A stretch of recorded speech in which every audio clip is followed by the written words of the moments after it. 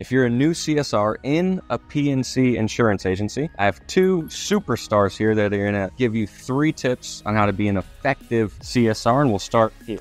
My name is Mariah, and I'm part of our customer experience team here. And our first tip that we have for you today is do not withhold any information in your head. So, we get in the habit of putting our notes in our notebook, keeping it and retaining it in our head, but we want to ensure that we're having all the information in our heads in our CRM system. So, that way, if any of the other team members pick up from where we start off, they have no issue solving that call or problem at all. Let's go into tip number two, and we have. I'm Angel. I'm also part of the customer experience team here. Tip number two is make sure whenever you are leaving those notes to make sure they are very detailed so that way anybody can pick it up from where they left off. If somebody's gone for the week, they can make sure that they can work the alert, work whatever they need to work without doing any extra research. Tip one, tip two, and the last one.